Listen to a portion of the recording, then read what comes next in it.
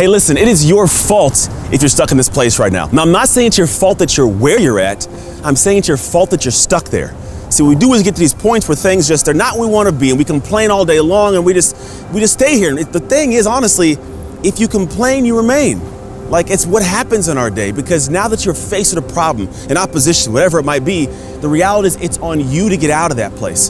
Now, yes, there's going to be situations that you hate being in and you hate that it's your life, but hey, this is life. Life's what happens between your plans. But the moment you step back and have a realization the only person who's going to step up and fight your battle is you, it's the moment you can come out of that place. Because you don't like being there. None of us do.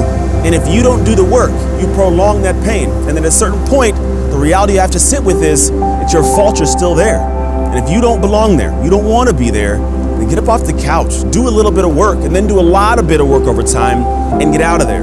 Because at the end of the day, to complain is always going to be to remain.